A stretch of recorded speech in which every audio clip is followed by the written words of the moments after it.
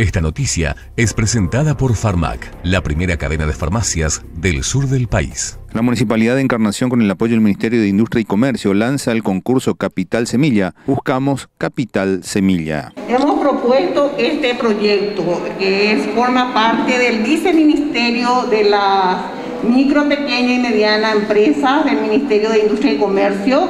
Denominamos Buscando Emprendedores con un Capital Semilla. Se va a desarrollar curso denominado Modelo de Desarrollo Canvas, que es un, proyecto muy innovador, donde los emprendedores que tengan, eh, los microempresarios emprendedores que tengan RUT o no tengan RUT, igual pueden participar.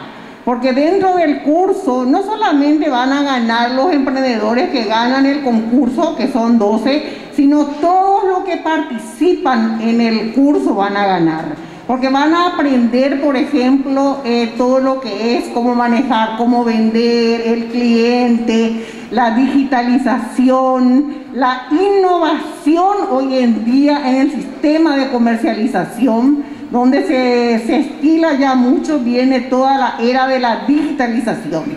La gente vende ya a través de delivery, tiene que tener post, la microempresa no, no, no es más esa venta común que hoy en día vemos.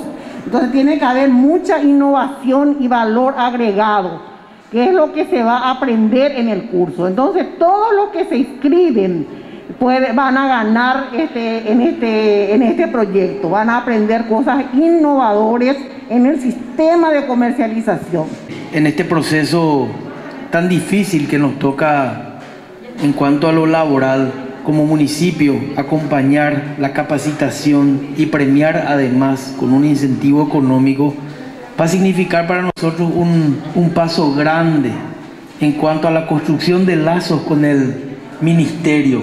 A veces uno por ahí pone en su gestión convenios, convenios, pero muchas veces cuando uno se marca en pasos reales, por ahí no, la gente no, no valora, pero en este caso realmente quiero decirte, directora, que para nosotros es un orgullo poder contar con este proyecto, poder ayudar de esta manera como municipio a los jóvenes emprendedores y que esto sirva como motivación para que año a año nosotros tengamos este lazo de que podamos capacitar y que podamos ayudar y que podamos invertir también parte de los recursos municipales en beneficio de la creación de nuevos eh, empresarios emprendedores o futuros comerciantes, futuros líderes incluso en el comercio moderno.